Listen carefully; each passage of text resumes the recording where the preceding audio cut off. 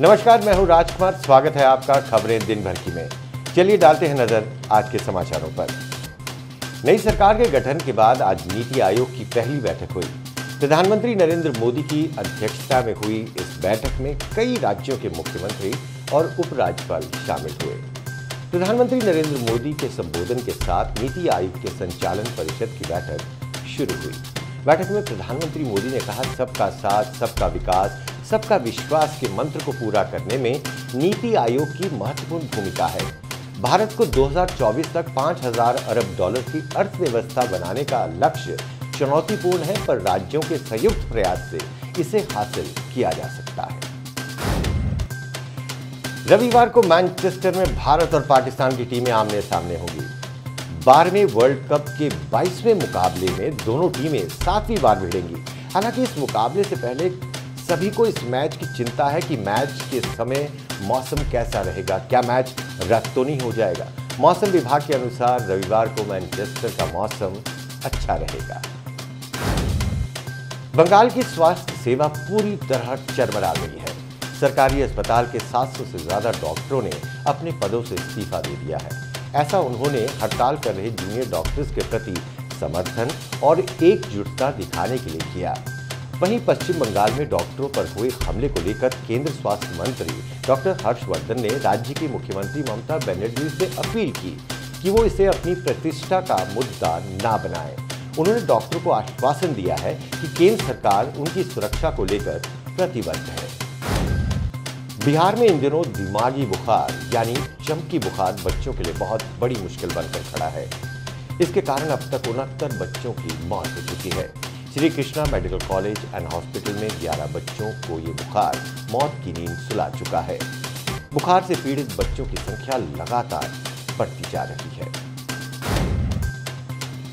भारतीय राजस्व सेवा आईएएस के 12 अफसरों को सेवा से हटाए जाने के बाद भारत सरकार इसी तरह की कार्रवाई उन सिविल सेवा आईएएस और आईपीएस के अफसरों के खिलाफ करेगी, जिनके खिलाफ इरेगुलरिटीज इनडिसिप्लिन और भ्रष्टाचार के मुकदमे लंबे समय से लंबित है। सूत्रों के अनुसार ये कदम प्रधानमंत्री कार्यालय की पहल पर उठाया जा रहा है। पाकिस्तान में रह रहे अंडरवर्ल्ड डॉन दाऊद इब्राहिम की डी कंपनी का भारत में नेटवर्क बनाए रखने के लिए पाकिस्तान की खुफिया एजेंसी आईएसआई बांग्लादेश सेना के रिटायर्ड कर्नल की मदद ले रही है। भारतीय खुफिया एजेंसियों की लंबे समय से चल रही जाँच में ये सनसनीखेज खुलासा हुआ है। सूत्रों के मुताबिक कुछ महीनों में ब्रिटेन और दुबई में इनकी कई मीटिंगें हुई हैं। माना जा रहा है कि इस सांठगांठ में हथियार लॉबी के लोग भी शामिल हैं।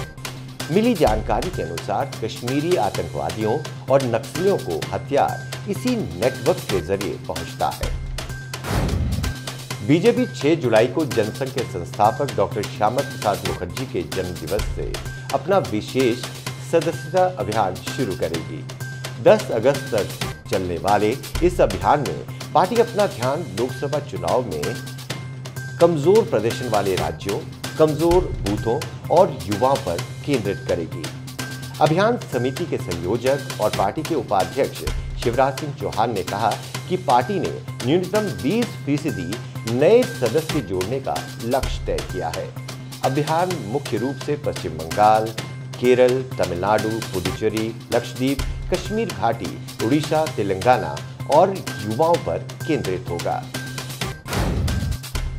वरिष्ठ कांग्रेस नेता और पूर्व प्रधानमंत्री मनमोहन सिंह ने कांग्रेस शासित राज्यों के मुख्यमंत्रियों के साथ दिल्ली स्थित पार्टी कार्यालय में बैठक की। इस बैठक में मध्य प्रदेश के मुख्यमंत्री कमलनाथ, राजस्थान के मुख्यमंत्री अशोक गहलोत, छत्तीसगढ़ के मुख्यमंत्री भूपेश बघेल और पुडुचेरी के मुख्यमंत्री वी नारायण स्वामी पहुँचे।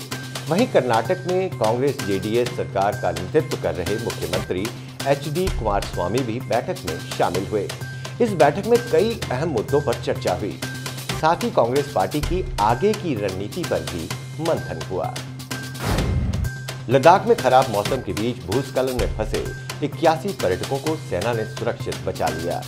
वहाँ तैनात सेना की सियाचिन ब्रिगेड ने तत्काल बचाव कार्य शुरू करते हुए पर्यटकों को निकाला। ये पर्यटक श्यो घाटी जाते समय भूस्खलन की चपेट में आ गए थे? बचाए गए पर्यटकों में महिलाएँ व बच्चे शामिल थे।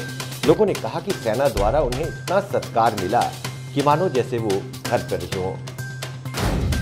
पाकिस्तान की हालत दिन ब दिन खराब होती जा रही है। पाकिस्तानी रुपया डॉलर के मुकाबले 160 के करीब पहुँच चुका है। दूध की कीमत पहुँची दो सौ प्रति लीटर, सेब चार सौ प्रति किलो संतरे 360 रुपए और केले 150 रुपए दर्जन बिक रहे हैं। तो वहीं मटन यानी मीट 1100 रुपए प्रति किलो तक पहुँच गया है। तो ये थे आज के समाचार। कल फिर आपसे मुलाकात होगी। तब तक के लिए दीजिए इजाज़त। नमस्कार।